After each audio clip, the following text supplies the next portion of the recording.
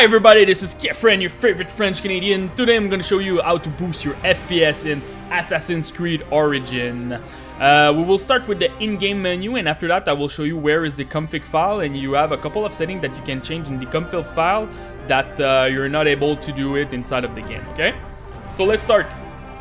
First of all, window mode, make sure that you're playing full screen. I saw an improvement, full screen versus borderless, so use that one.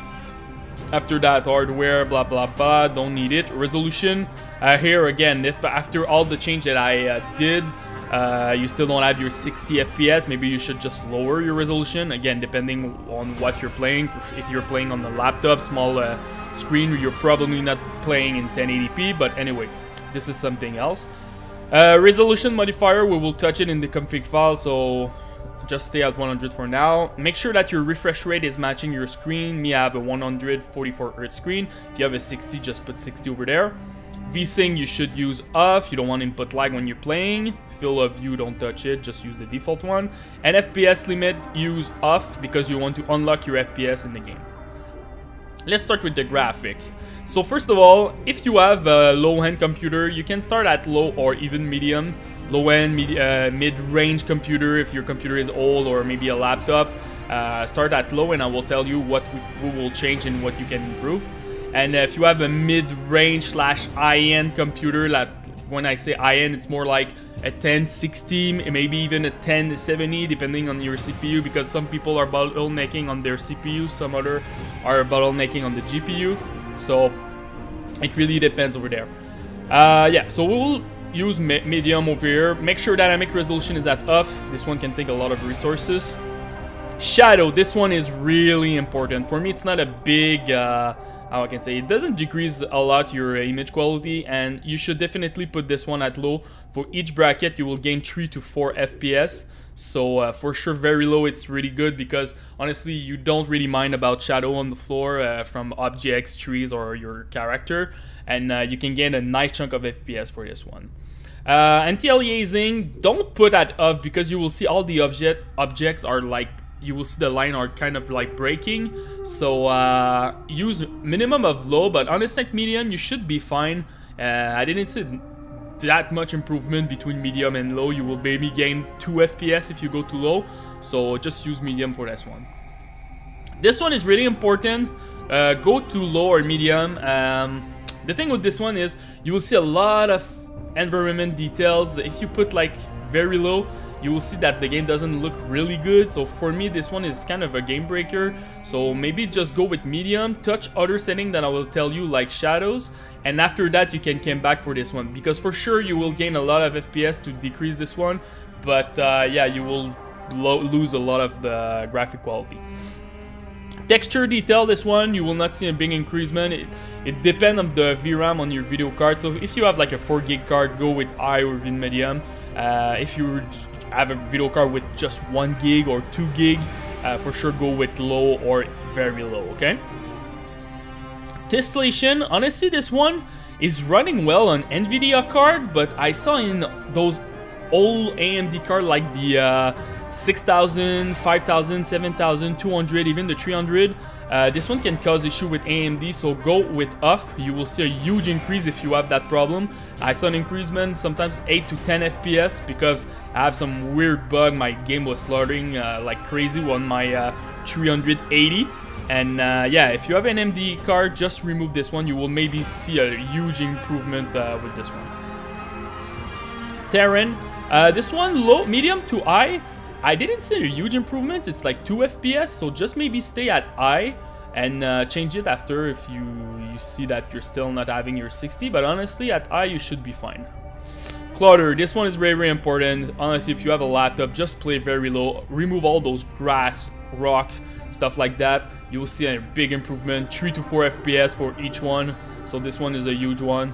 So maybe low if you want to see a little bit of grass, but you will see a nice improvement over here. Fog, uh, Fog again, weird performance issue with AMD. Don't know why on the 300 and the 200 series. Uh, this one, if I go at I, I was losing like 7 FPS just to, to get like some accuracy in the fog.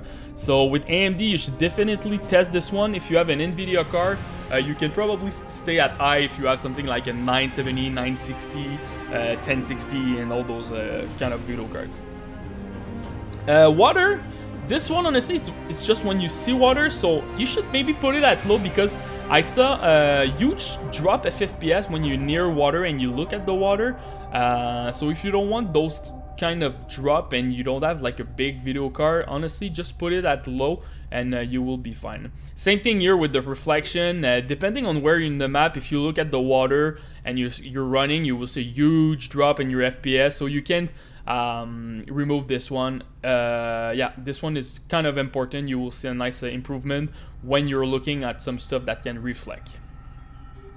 Volumetric cloud, this one, very weird again. Um, getting huge increase when I remove it on my uh, AMD card.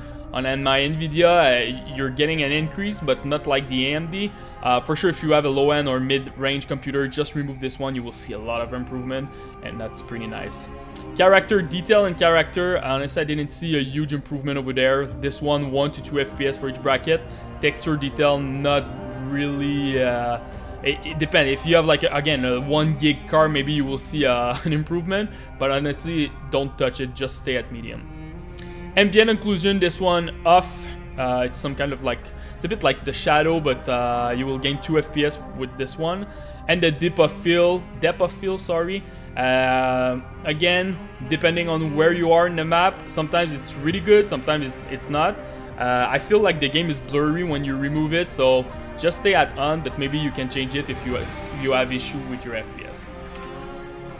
After that, you can go in the config file. The config file is in your document, Assassin's Creed, and open the folder, uh, the file uh, ACO for Assassin's Creed Origin, and you will have this uh, file over here. Stuff that you can change. First of all, bloom. Bloom normally by default is at 1. I really don't like this effect. So this one you can remove it by the config file. You can't inside of the game. So make sure that uh, this one is at 1, uh, at 0, sorry. You can gain 2 to 3 FPS just with this one. Also texture filtering, if you have like a low-end card, you can do 0 over here. You will see an improvement. But this one is not that huge, okay? Honestly, you will not see a crazy improvement, but still, it will work. And uh, finally, pixel density. This one is the, it's kind of the resolution scaler. Uh, normally, by default, the game is at 1, like this. But uh, you can go lower than that. This is last resort because you will see that if you go under 1, uh, you will start to see blurry pixels and stuff like that. You can do something, whoops, something like 95. Uh, the game will not look like crap and you will gain a nice chunk of FPS. But uh, the slider in the game goes until 0.5.